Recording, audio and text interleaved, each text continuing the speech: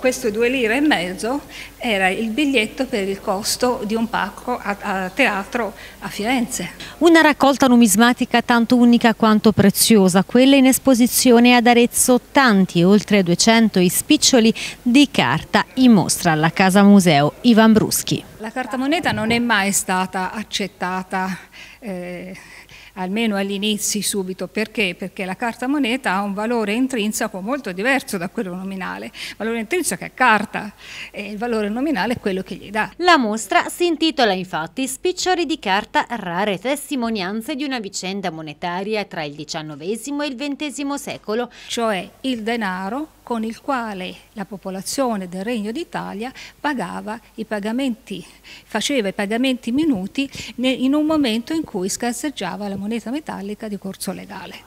È la prima in Italia dedicata a quel fenomeno economico che si è sviluppato subito dopo l'Unità d'Italia che va sotto il nome di circolazione fiduciaria abusiva. Teniamo presente che lo Stato non ha mai autorizzato queste cose e la loro stampa è stata passibile eh, effettuare perché non c'era una legge che regolamentava il diritto di emissione. La mostra espone una parte significativa della collezione di carta moneta di proprietà di Intesa San Paolo conservata presso la Fondazione Ivan Bruschi, mai esposta prima, e visitabile sino al 27 novembre 2022. La Casa Museo naturalmente come sapete è entrata a far parte del patrimonio di Intesa San Paolo e fa parte ora a piano titolo delle Gallerie d'Italia. Continua quindi il percorso di Casa Bruschi nel eh, mostrare alla città e diventare polo attrattivo anche di queste mostre che sono cosiddette non propriamente scontate.